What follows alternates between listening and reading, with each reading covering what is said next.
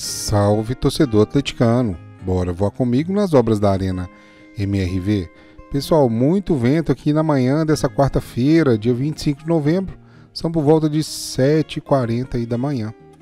Né? É... mas a obra já está bem agitada, independente do horário. Né? O pessoal vem bem cedo e com esse vento forte dificulta um pouco a vida para a gente aqui que pilota os drones. Né? Ele fica reclamando o tempo inteiro do vento forte, mas nada que impeça aí o voo. Né? Muito material ainda está acumulado aqui nesse cantinho da obra, né? É, mas ali parece que o pessoal vai começar a fazer a retirada dele hoje. Temos ali toda essa madeira acumulada ali, uma placa da Racional, temos toda essa estrutura metálica que são sobras das armações, né? E das estacas metálicas que foram utilizadas aí na obra. Acredito que agora eles devem começar a transportar isso para fora do estádio, né? Para liberar essa área aqui. Lembrando que todo esse cantinho aqui está plano, essa esquina, será uma área verde também, né? Então a gente acompanha até na parte de baixo das encostas, o pessoal fazendo a irrigação aqui da grama, que está bem seca nesse momento, mas vai bastar em uma semaninha de chuva aí para começar essa grama pegar. O pessoal tem, tem falado nos comentários que a que a grama não vai pegar, pode até ser muito vermelha aí, não tem, mas logo logo isso vai estar bem verdinho aí. Vamos acompanhar até porque Lá perto da, da, do centro de experiência já tem uma grama que foi plantada há cerca de um mês, que ela já está ficando bem verdinha lá, né? Então, só guardar aí nesse período é o período ideal até para o plantio da grama, porque é o período das chuvas. Então, logo, logo vamos ver toda essa área aqui bem verdinha. Vai dar aí uma visão especial para a gente que está filmando aqui todo dia, né? Um parabéns aí pro pessoal que está trabalhando aí nessa encosta, não deve ser fácil ficar pendurado não. Aqui é parte da escada hidráulica. Um dos inscritos disse ontem no vídeo que o nome correto é escada hidráulica. Essa escada é utilizada ali para frear o, o, avanço da água, né? ela descer de maneira controlada por essa estrutura e se interligar nas calhas que vão estar no pé dessa encosta, né? que está sendo toda gramada, inclusive para lado de cá.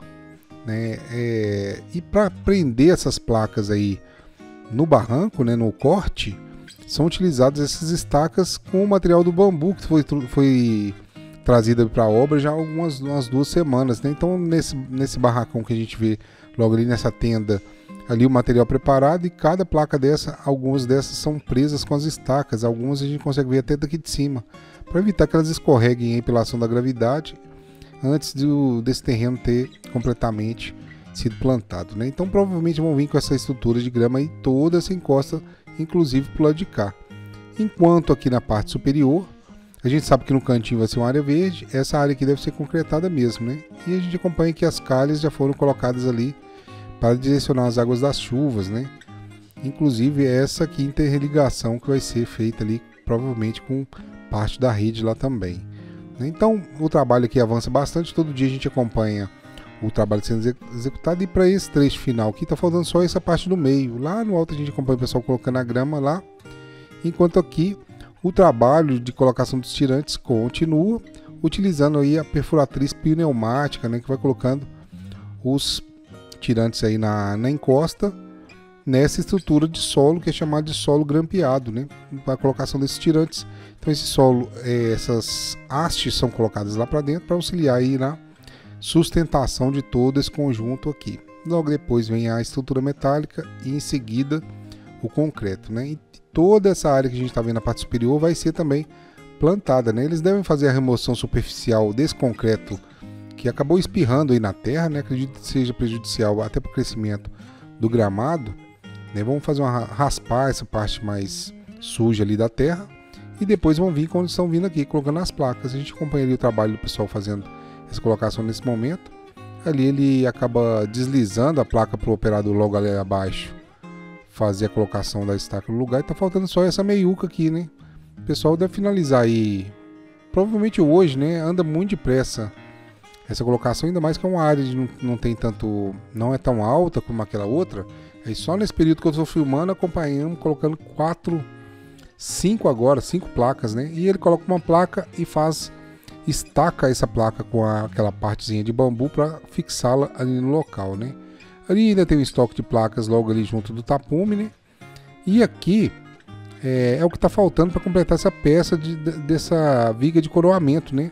Que une todas as estacas. Bem nessa esquininha aqui, a gente acompanha que é, tem essas duas estacas ainda para serem concluídas. E o pessoal até pergunta por que, já que vai tirar o concreto do, da parte superior, por que, que não só concreta a parte até ali onde retiraria um concreto? Aí o pessoal explicou nos comentários que o concreto nessa parte superior ele é mais impuro, né?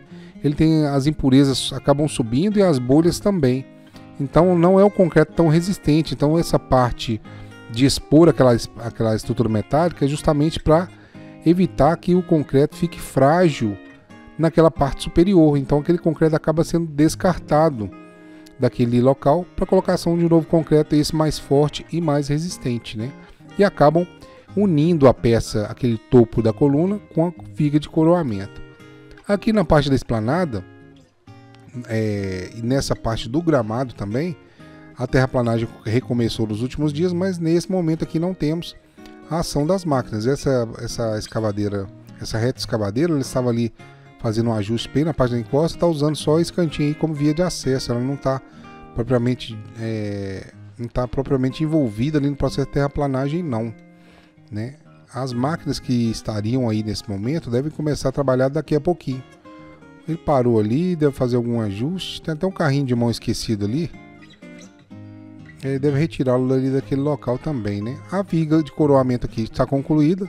Ficou uma peça bem bacana aqui, uma peça muito grande, maior do que, a, do que aquela peça que a gente mostrou agora.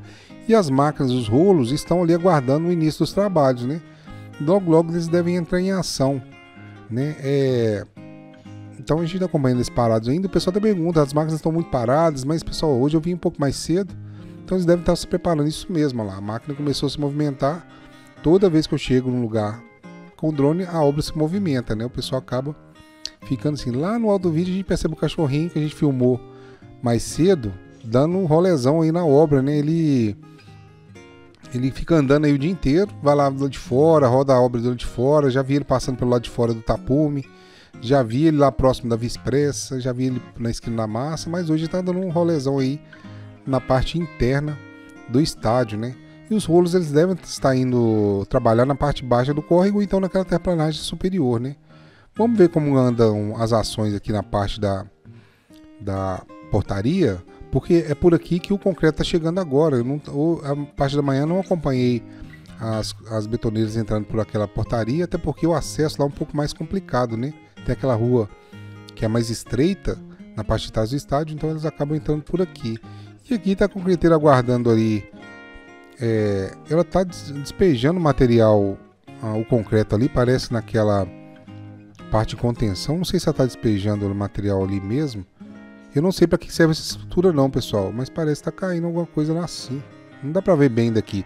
Então quem souber para que serve essa estrutura aí, pode deixar nos comentários. Então, esse foi o vídeo de hoje. Se gostaram, deixem um like, compartilhem e inscrevam-se no nosso canal. É muito importante para a gente continuar gerando esse conteúdo de qualidade de atleticano para atleticano. Um grande abraço e até o próximo voo.